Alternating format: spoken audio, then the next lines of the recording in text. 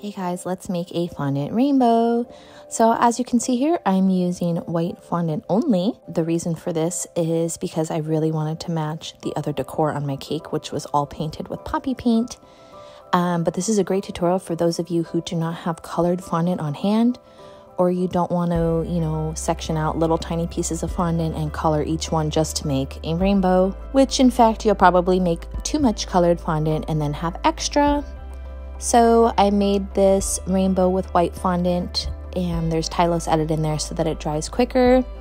I added poppy paint, the color that I wanted it to be, plus a little bit of white, plus a little bit of Everclear for that watercolor look. By the time you're done painting the last one, the first one's completely dry, so you can start gluing it together. Of course, I'm using my edible glue, which you can find on my website. That small circle cutter there is just to make sure it stays round, and then you cut the bottom, let it rest for one to two days, and you have a perfect rainbow.